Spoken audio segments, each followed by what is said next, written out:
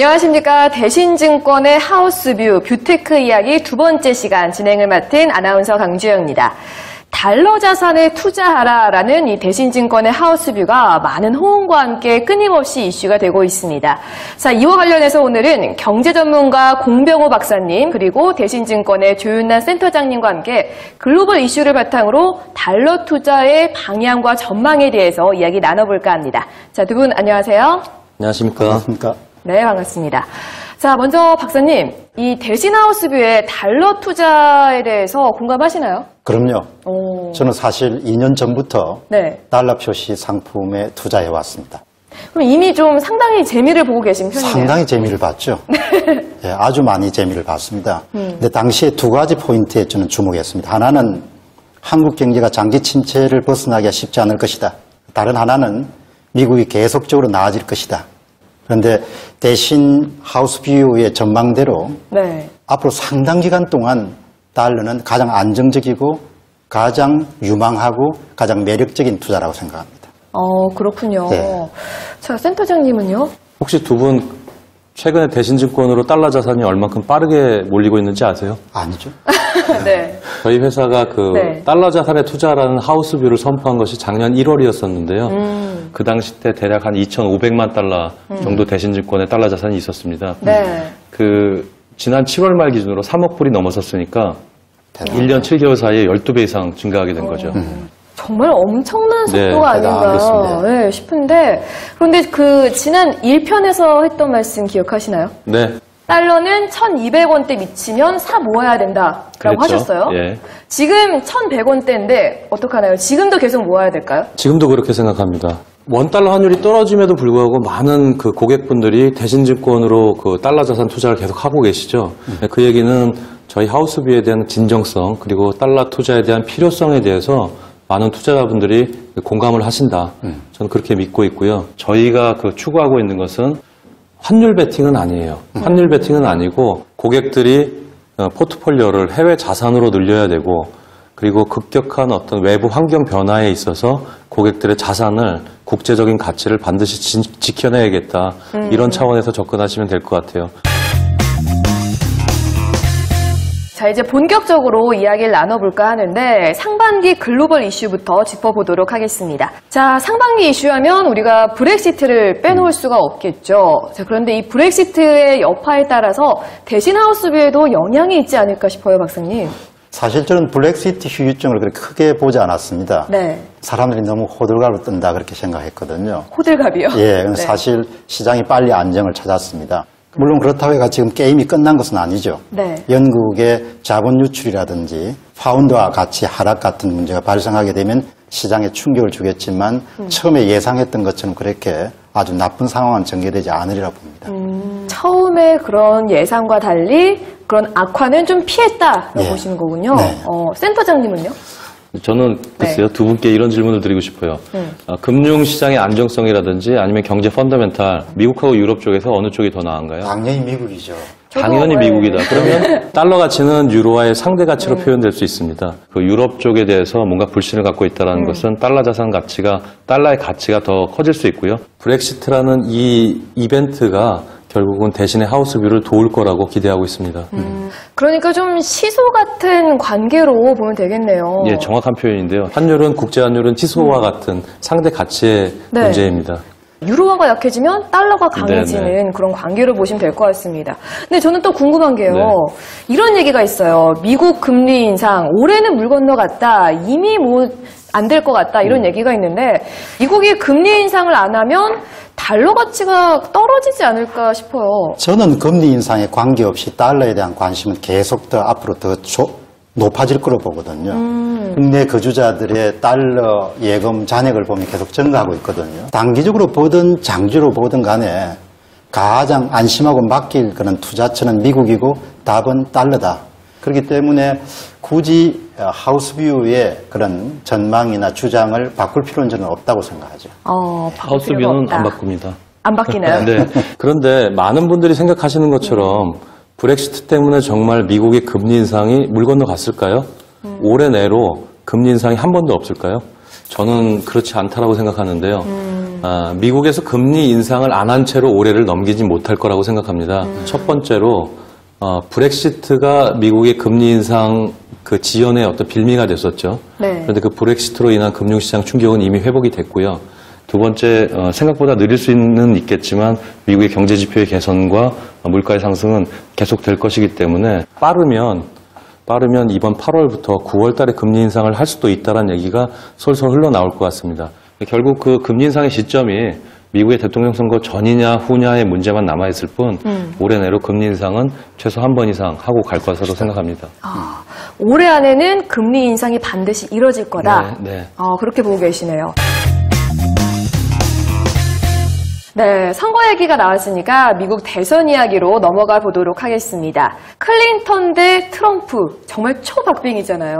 전 세계가 주목을 하고 있는데, 우리 박사님은 누가 당선될 것 같으신가요? 현재 기준을 보면 클린턴이 당연히 우세하죠. 그런데 모르죠. 사람들이 식상하다. 네. 변화가 필요하다. 네. 그렇게 하면 뒤집어질 수가 있는 겁니다. 어, 미국 역사에서 보시면은 1840년대 이래로 어, 민주당이 8년 넘어서까지 집권한 경우가 한 번 있었어요. 한 번이요. 그런데 그것도 2차 세계대전 중에 일어났기 때문에 반복적으로 트럼프가 실수를 안 하면은 네. 충분히 가능성이 있죠. 어, 예. 근데 사실 이 선거 결과가 정말 중요한 게 집권당에 따라서 투자 전략이 달라지잖아요. 제가 주목하고 있는 포인트는 그 8년 주기의 미국 선거 사이클에 따라서 네. 그 금융시장의 색깔이 완전히 그 판약에 이제 다르게 나타났다는 것입니다. 네. 민주당 집권기의 특징은 보다 소프트한 이 말랑말랑한 자산들의 버블이 생기기 쉽고요. 네. 공화당은 상대적으로 하드한 자산의 버블이 생기기가 쉽죠. 어. 뭐 예를 들어서 실리콘밸리가 있는 캘리포니아가 민주당의 색깔이다.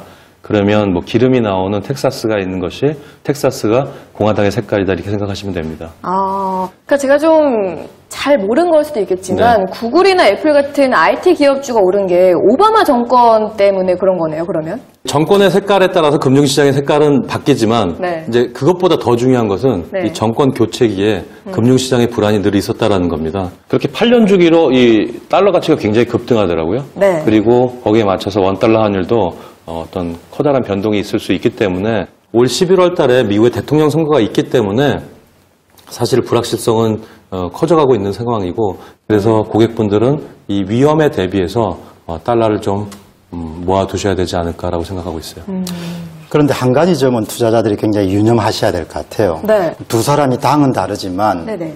자국 우위 또 자국 산업 보호 이런 보호주의적 색채를 띠고 있기 때문에 네. 누가 되든지 간에 원달러 환율이 하락 압박을 받을 가능성이 굉장히 높다는 것이죠. 어. 중장기적으로. 네. 그것은 뭘 이야기하는 거 아니까 미국 정부가 달러 약세를 방조 내지 조장할 가능성이 높다는 이야기입니다. 만일 그런 상황이 확률적으로 낮긴 한데 네. 일어나게 되면은 대신 하우스뷰에 좀 역풍이 일어날 가능성도 있습니다. 대신 하우스 뷰가 역풍을 맞을 수도 있다. 어떻게 네. 생각하세요? 지금도 맞바람을 약간은 맞고 있습니다. 네. 사실은 최근의 상황들은 대신에 하우스비의 역풍을 맞고 있다고 볼 수 있습니다. 특히 네. 어, 지난 4월 말에 미국 재무부에서 환율 보고서가 나오면서 이 원화 절상 압력들이 굉장히 심했죠. 물론 이 환율, 환율 변동 요인은 아주 여러 가지가 있겠는데 어, 떤 정치적인 그런 입장 혹은 뭐 통상 관련된 그런 이슈들도 있겠지만 보다 더 앞서고 중요한 것은 어, 경제 체력, 경제 펀더멘탈인데 과연 지금 당장 혹은 단기간 내에 미국의 어떤 차별적 우위가 없어질 것이냐 아니라고 보고 있고요. 그 다음에 한국의 경제 펀더멘탈이 차별적인 우위를 당장 점할 수 있을 거냐 아니라고 봅니다. 그래서 원달러 환율의 추가적인 하락은 어, 나타날 가능성이 적다라고 생각을 하고 있어요. 어, 지금이 오히려 그 달러를 모을 때다, 좋은 가격에서 모을 때다라고 생각합니다. 그리고 그 정권의 입장보다는 이 정권이 교체되는 시기에 네. 환율 불안을 말씀드리는 것이고 그것이 더 중요한 포인트라고 생각합니다. 자, 이제 구체적인 하반기 투자 전략을 살펴보도록 하겠습니다. 센터장님, 달러 표시 자산 중에 가장 주목해야 될 종목은 어떤 게 있을까요? 저 그림은 그 6월 24일이었었죠. 브렉시트 결과가 나온 날이었었는데 그 직후에 그 주말에 제가 만든 그 자산 배분안인데요. 어, 저 표에 저의 단기, 중기, 장기적인 어떤 자산군에 대한 저희 전망들이 다 묻어 있습니다. 채권을 많이들 그 투자를 하고 계시죠. 그래서 채권을 말씀드리면 크게 수익은 안 난다 하더라도 뭐 전 세계적으로 마이너스 금리 확대 기조에 있기 때문에 일단 손실의 가능성은 상당히 그 낮습니다. 그래서 채권 투자자분들한테는 그대로 계시라고 조언을 해드리고 있어요. 그제 주변에는요, 금 투자도 상당한 인기였거든요. 금이나 원자재는 어떻게 보세요? 어, 원자재는 향후 뭐 5년 이상 혹은 3년 이상을 본다 그러면 원자재는 지금 쌀 때 모아두시라고 조언을 드리고 있습니다. 어, 이것도 저것도 못 믿겠다 하시는 분들, 뭐 투자 성향이 보수적이든 공격적이든 그분들한테는 금 투자를 권유드립니다. 중요한 포인트는 해외 채권이든 그 다음에 원유든 금이든 모두 다, 다 달러로 투자해야 된다는 것이죠. 그래서 어떤 자산을 선택하시든 간에 결국은 달러 자산을 늘리게 되는 어, 그런 어떤 뭐 결과는 똑같다라고 생각합니다. 자, 모든 투자는 달러로 해라. 이 대진하우스 뷰의 핵심 포인트였습니다. 자, 이제 마지막으로 시청자분들의 궁금한 점을 모아서 짤막하게 답변을 들어보는 시간 가져보도록 하겠습니다. 자, 이 달러로 살 수 있는 주식 중에 추천할 만한 종목이 있다면 어떤 게 있을까요? 네, 저희 대신증권 리서치 센터에서도 그 미국에 상장된 달러로 된 주식들 그 분석 리포트를 내놓고 있습니다. 미국 대통령 선거랑 연결시킨다면 만약에 힐러리 클린턴이 집권하게 된다. 네. 그러면 지금과 같은 어떤 기술에 대한 기대감들이 크기 때문에 네. 뭐 구글이나 애플 이런 어떤 혁신 기업 혹은 바이오테크 이런 기업들을 포트폴리오에 담아야 한다고 생각하고 있고요. 반대로 그 공화당이 집권할 가능성이 높다라고 생각하시는 분들은 뭐 할리버튼 같은 원자재 관련주를 포트폴리오에 담아두시는 게 좋을 것 같습니다. 어, 좀 다른 얘기인데 혹시 ELS 투자 해보셨어요? 제가 사실 예전에 ELS에 투자를 했었어요. 그때 마음고생을 너무 심하게 해가지고요. 네. 네네. 달러 ELS라는 것도 아세요? 미국에 상장된 뭐 예를 들어 이런 거죠. 구글이나 애플 두 종목으로 만들어 놓은 ELS다. 그럼 가입하시겠어요? 저는 예전의 경험을 바탕으로 봤을. 때 두 번 다시 하고 싶진 않아요. 왜냐면 이 구글이나 네. 애플이 사실 언제 반토막이 날지는 네네. 모르는 거잖아요. 바로 그 점이 굉장히 중요한 포인트죠. 투자 네. 포인트입니다. 네. 그럼 주가가 반토막이 난다. 그럼 금융시장이 엄청나게 혼란 상태에 빠진 거거든요. 네. 그럼 원 달러 환율이 급등할 겁니다. 네. 그럼 손실을 상당히 줄일 수 있는 거죠. 어. 예, 그리고 그냥 아무 일 없다. 그럼 시중금리보다 높은 수익률을 거둘 거고 미국 주가가 올라간다. 네. 그러면 조기 상환이 가능하기 때문에 상당한 수익을 거둘 수 있겠죠. 아, 그런가요? 공 박사님이 그 대신증권 상품 기획자 같으신데요. 정확하게 포인트를 짚으셨습니다. 네. 구글이 만약에 반토막이 난다. 그러면 뭐 정확한 계산은 안 해봤습니다만 미국의 종합지수, 뭐 네. 다우존스라든지 이런 S&P 500이라든지 이런 지수가 한 30%는 빠질 거예요. 예. 그것은 국제 금융 위기예요. 원달러 환율은 우리가 예상할 수 없는 수준까지 올라갈 수 있어요. 그래서 그래서 손실을 많이 할 수 있는 것이죠. 어, 그동안 ELS 하면 무조건 좀 제끼고 봤었는데, 네. 다시 말해서 미국 달러 ELS 괜찮은 상품인 것 같네요. 네. 자, 이제 마지막으로 방송을 보는 시청자분들께 한 말씀씩 부탁드릴게요. 박사님부터 해주시죠. 예. 시장은 공포를 먹고 자란다는 그런 투자 격언이 있죠. 네. 항상 리스크가 있는 데는 돈이 따릅니다. 지금 금융시장이 좀 혼미스럽습니다. 앞을 내다보기 힘듭니다. 그럼에도 불구하고 냉철하고 좀 논리적인 그런 관점을 갖고 보시면 투자의 길을 발견할 수 있을 것입니다. 자, 우리 센터장님도 한 말씀 해주세요. 몇 가지 질문을 좀 드려볼게요. 네, 아니오라고만 생각해 보세요. 네. 금융시장 안정성, 경제 체력, 미국이 유럽보다 좋을까요? 그럼요. 네. 예. 미국 대선 결과에는 아직도 불확실성이 존재한다. 예. 네. 한국 경제의 대외 의존도는 한동안 사라지지 않는다. 네. 네. 중국 금융시장에 대한 국제 투자자들의 불안감은 남아있다. 물론입니다. 한국의 투자자들이 해외 자산을 늘리는 행위는 몇 년 동안 지속될 거다. 네. 네, 그럼요. 다 지금 yes라고 대답을 하셨잖아요. 예. 네. 그럼 지금 당장 달러를 투자하셔야 됩니다. 특히 최근처럼 원달러 환율이 이렇게 떨어져 있는 상황이라면 달러를 싸게 살 수 있어요. 지금 당장 달러를 투자하십시오.